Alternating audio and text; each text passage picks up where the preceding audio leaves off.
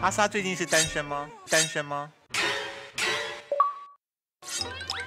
不告诉你，不告诉我，我看他好狠！我跟你讲，他上节目，他居然用不告诉你来对付主持人。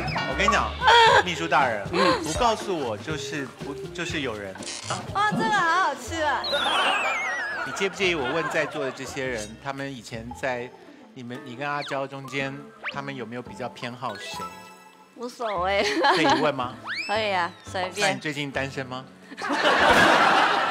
你不是随便我问吗？最萌台，他胖勇哥是不会不会放弃的。你知道我有一个死党叫做小 S，嗯小 S 极度迷恋某一个男明星，嗯，你知道吧？哪一个？你知道我说出名字吗？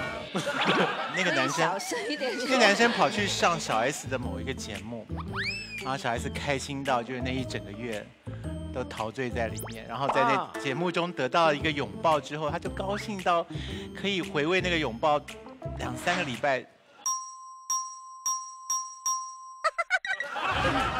所以你会告诉小 S 说那个男生是怎么样的吗？过去让他过去，所以你跟那个男明星已经过去了。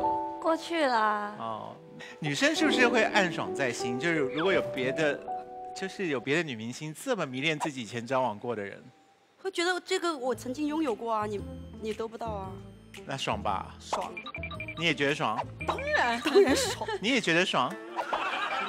所以你们就不能置身事外吗？就像阿莎这样，就是过去让他过去吧，不关他的事了。不，女生之间会有一个比较，就是不关这个男人的事了，已经。嗯，你是真的在我今天聊这件事情之前都不知道小 S 有这个我真的不知道，我以为你说在之前的。啊。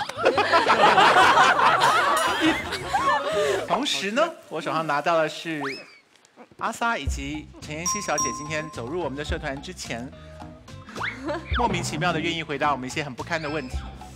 当中这一题是上一次接吻是在什么时候呢？那我们刚才已经研究过陈妍希的行程，所以我们知道只要是老公宝宝出门就必须要接吻。嗯，所以妍希回答了上一次接吻是在四天前，老公出门之前。嗯，而阿莎回答上一次接吻是在什么时候呢？各位请看，他写的是今天早上。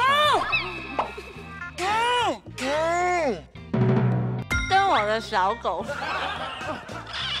切。